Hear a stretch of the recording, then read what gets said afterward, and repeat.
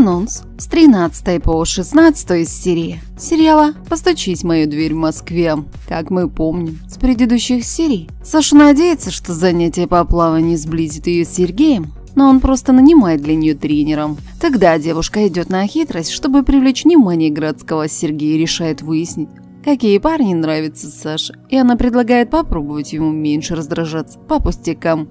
В доме Градских все готовятся к новоселью молодых.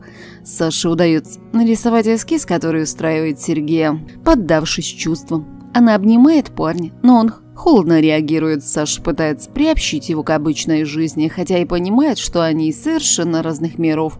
Жанна подглядывает за сыном и невестой и начинает переживать, что они могут по-настоящему влюбиться друг в друга. Продолжение вы сможете увидеть в очередных сериях, которые выйдут с 4 по 7 марта на ОККО. Подписывайтесь на канал и будете в курсе всех событий о любимых сериалах.